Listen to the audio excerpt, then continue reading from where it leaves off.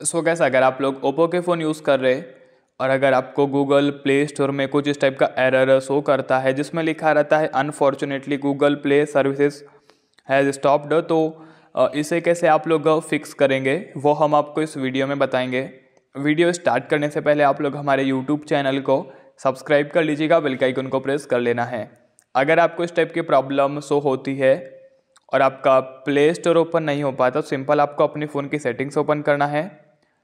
Apps पे click करें app management पे क्लिक करें सर्च बार पे क्लिक करें आप लोग प्ले यहाँ पे आपको गूगल प्ले सर्विसेज़ मिलेगा देन गूगल प्ले स्टोर तो सिंपल आप लोग को इन पर क्लिक करना है.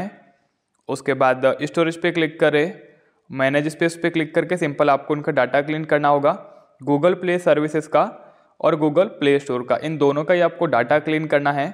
अब आप अपने फ़ोन में प्ले स्टोर को यूज़ कर सकते हैं बिना किसी दिक्कत के. सो आई होप आप लोग को वीडियो अच्छी लगी होगी। मिलते हैं नेक्स्ट वीडियो में। जय माता दी।